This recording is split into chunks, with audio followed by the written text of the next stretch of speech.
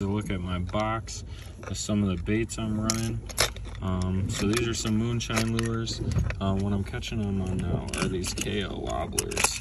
And the difference is with these KO wobblers that make them so much more efficient than any other glow spoon at night is that little ticker right there.